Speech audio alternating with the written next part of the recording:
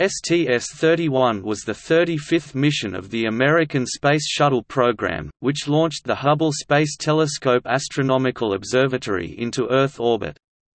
The mission used the Space Shuttle Discovery the 10th for this orbiter, which lifted off from Launch Complex 39B on 24 April 1990 from Kennedy Space Center, Florida.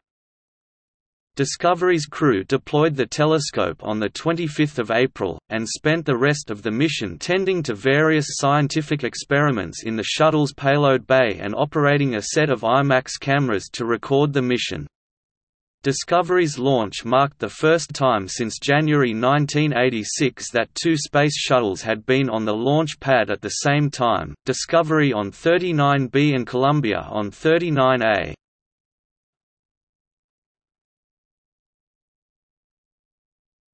Topic: Crew.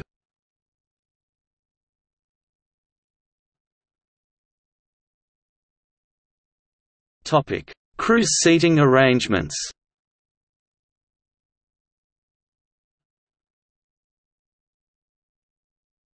Topic: Crew notes. Initially, this mission was to be flown in August 1986 as STS-61J using Atlantis, but was postponed by the Challenger disaster.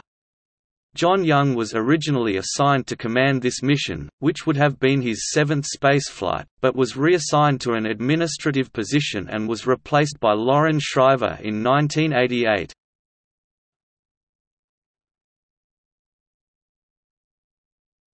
Topic Mission highlights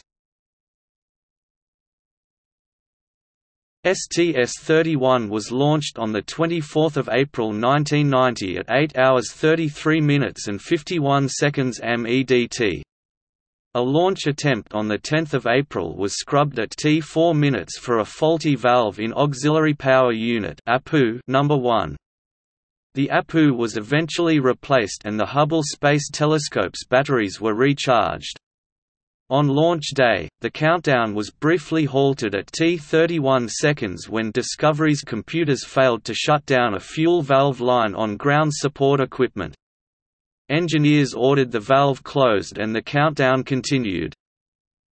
The primary payload was the Hubble Space Telescope (HST), deployed in a 380 statute mile (612 kilometers, 380 miles) orbit. The shuttle's orbit in this mission was its highest orbit up to that date, in order for HST to be released near its operational altitude well outside the atmosphere. Discovery orbited the Earth 80 times during the mission. The main purpose of this mission was to deploy Hubble. It was designed to operate above the Earth's turbulent and obscuring atmosphere to observe celestial objects at ultraviolet, visible and near-infrared wavelengths. The Hubble mission was a joint NASA-ESA effort going back to the late 1970s. The rest of the mission was devoted to photography and onboard experiments. To launch HST into an orbit that guaranteed longevity, Discovery soared to 600 kilometers (370 miles). The record height permitted the crew to photograph Earth's large-scale geographic features not apparent from lower orbits. Motion pictures were recorded by two IMAX cameras, and the results appeared in the IMAX film Destiny in Space. Experiments included a biomedical technology study, advanced materials research, particle contamination and ionizing radiation measurements, and a student science project studying zero-gravity effects on electronic arcs. Discovery's re-entry from its higher-than-usual orbit required a deorbit burn of 4 minutes and 58 seconds, the longest in shuttle history up to that time. During the deploy of Hubble, one of the observatory's solar arrays stopped as it unfurled. While ground controllers searched for a way to command HST to unreel the solar array, mission specialists McCandless and Sullivan began preparing for a contingency spacewalk in the event that the array could not be deployed through ground control. The array eventually came free and unfurled through ground control, while McCandless and Sullivan were pre-breathing inside the partially depressurized airlock. Secondary payloads included the IMAX Cargo Bay Camera (ICBC) to document operations outside the crew cabin and a handheld IMAX camera for use inside the orbiter. Also included were the Ascent Particle Monitor to detect particulate matter in the payload bay, a protein crystal growth experiment to provide data on growing protein crystals in microgravity, radiation monitoring equipment 3 (RME3) to measure gamma ray levels in the crew cabin, investigations into polymer membrane processing to determine porosity control in the microgravity environment, and an Air Force Maui Optical Site experiment. The mission marked the flight of an 11-pound human skull, which served as the primary element of Detailed Secondary Objective 469, also known as the In-Flight Radiation Dose Distribution experiment. This joint NASA.DOD experiment was designed to examine the penetration of radiation into the human cranium during spaceflight. The female skull was seated in a plastic matrix, representative of tissue, and sliced into ten layers. Hundreds of thermoluminescent dosimeters were mounted in the skull's layers to record radiation levels at multiple depths.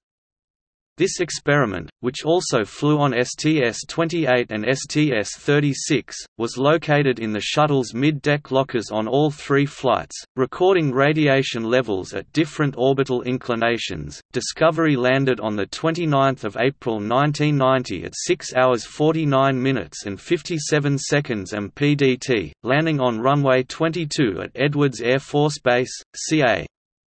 The rollout distance was 2705 meters, 8875 feet, and took 61 seconds.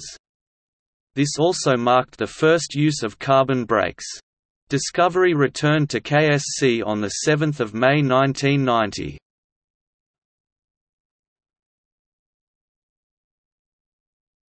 Topic: Wake-up calls NASA began a tradition of playing music to astronauts during the Gemini program, which was first used to wake up a flight crew during Apollo 15. Each track is specially chosen, often by their families, and usually has a special meaning to an individual member of the crew, or is applicable to their daily activities.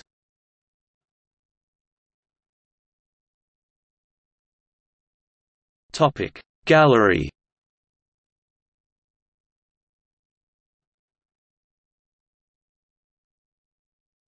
Topic. See also List of human spaceflights List of Space Shuttle missions Outline of space science Space Shuttle